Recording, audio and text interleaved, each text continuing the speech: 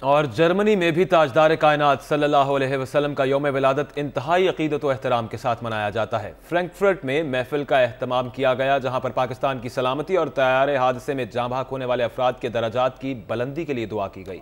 रबी अव्वल आते ही जर्मनी में जश्न ईद मिलादुलनबी मनाने की तैयारियाँ शुरू हो जाती हैं। इस सिलसिले में फ्रैंकफर्ट में मनहाजुल कुरान इंटरनेशनल ने महफिल का अहतमाम किया, जिसमें मजहबी स्कॉलर मुफ्ती हुसैन पीरजादा ने ताजदार कायनात सल्लल्लाहु अलैहि वसल्लम के यौम पैदाइश के हवाले से कुरान सुन्नत की रोशनी में पुरसर और मुदल खिताब किया।